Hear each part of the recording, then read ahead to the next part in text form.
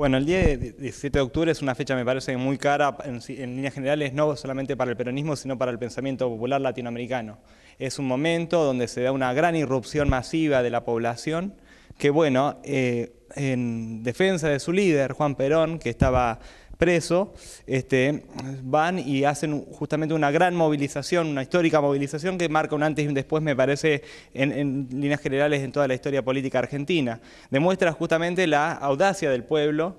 y también un poco la audacia de Juan Perón en, su momento ¿no? como dirigente político, ya que desde la Secretaría de Trabajo había llevado adelante una serie de medidas importantísimas, como los tribunales de trabajo, la indemnización por despido, jubilaciones eh, masivas en su momento para una eh, población muy desmovilizada, con grandes inequidades, y bueno, muy ligada también este, todas estas medidas a una distribución de la riqueza. Tenemos que decir que el sistema eh, político de la época no expresaba realmente a las mayorías populares que se veían por fuera del sistema político y de esas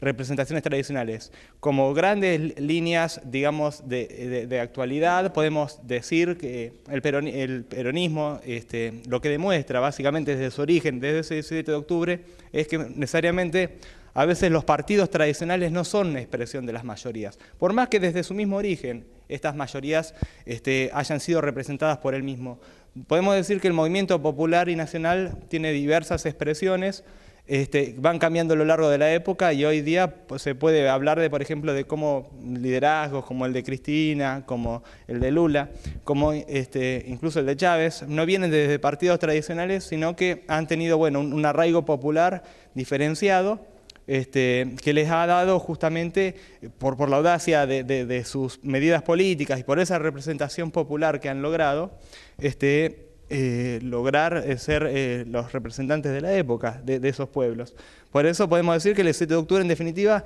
es el momento donde, más que de lealtad peronista, que la lealtad es un concepto, se quiere, demasiado ligado, ya, digo, a a la obediencia, más que nada podemos decir que es un día de democracia popular, de verdadera democracia popular y de expresión genuina del pueblo reclamando por sus intereses y por sus liderazgos.